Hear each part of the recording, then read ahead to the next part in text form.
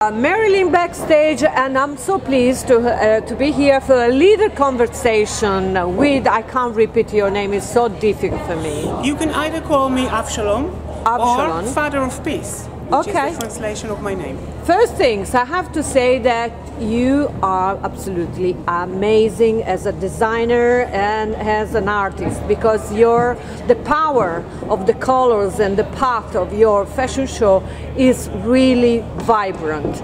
I saw the best um, assemblée uh, des couleurs, uh, colors, absolutely. Um, vibrant and I want to know from you which was the main challenge to assemble all these colors this year for this collection. Well, first of all, I have to thank you for all the compliments. Uh, it's good I have a lot of makeup so nobody can see that I'm blushing. but uh, thank you, really, thank you so much. Um, I think when you create a collection, it's really like um, layer after layer. So first you just get the inspiration and you choose the fabric and you work on the print individually, like different children. And once you have all the family, then you mix them together and you check what works and what doesn't work. It's not something that happens in a day.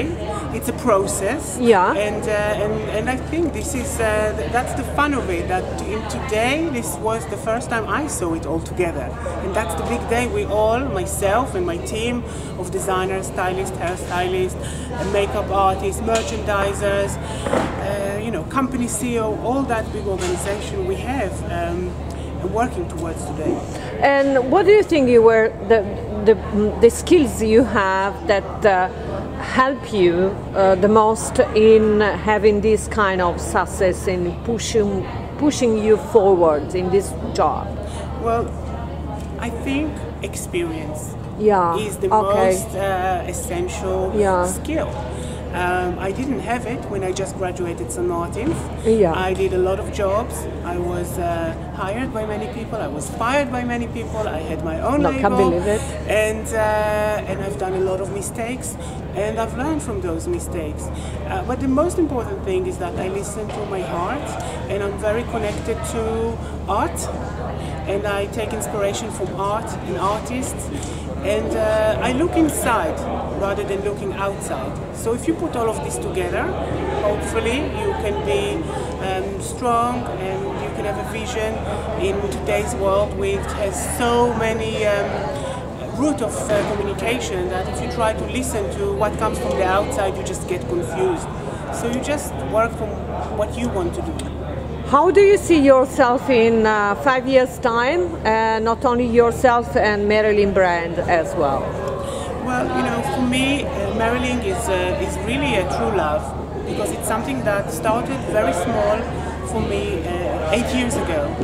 Um, and uh, it comes with great vision of our management. When you find the right partner in life and in business, I definitely see myself working for, always working for Maryling and with Maryling and leading the Maryling team.